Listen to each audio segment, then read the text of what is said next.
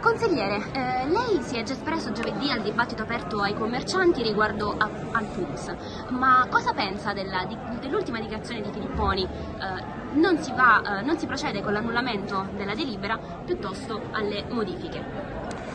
Eh, guardi, noi non possiamo non essere dalla parte dei cittadini, quindi ehm, questo, questo, questo programma, questo piano è qualcosa di, di molto impattante.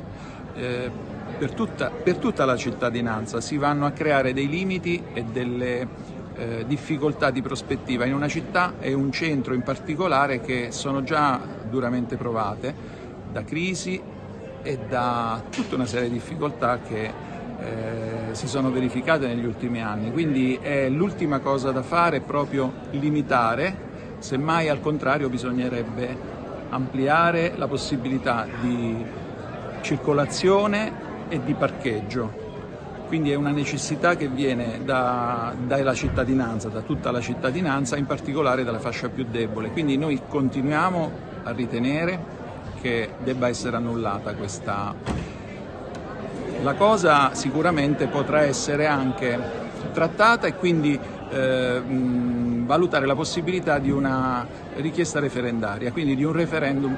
Facciamo in modo che siano i teramani a dire se su questo piano di mobilità che vuole imporci questa, questa giunta e questa maggioranza eh, si va nella direzione giusta, quella sbagliata. Noi siamo convinti che sia sbagliatissima e quindi sosterremo in tutte le maniere l'annullamento io ho già presentato delle osservazioni in merito. Comunque eh, le posso dire che un referendum sarebbe giusto eh, per interpellare la cittadinanza su una cosa che avrà un impatto di lungo periodo. E quindi non è sbagliato pensare che adesso si stia riproponendo una, su una questione di secondaria importanza, perché come è stato ben più volte eh, sottolineato, il PUMS non è una priorità per Teramo, ci ritroveremo ad affrontare la stessa questione che c'è stata per l'ospedale quasi. Ma guardi, nello specifico qui siamo di fronte a un qualcosa che ci viene quasi, eh, ci viene sostanzialmente imposto.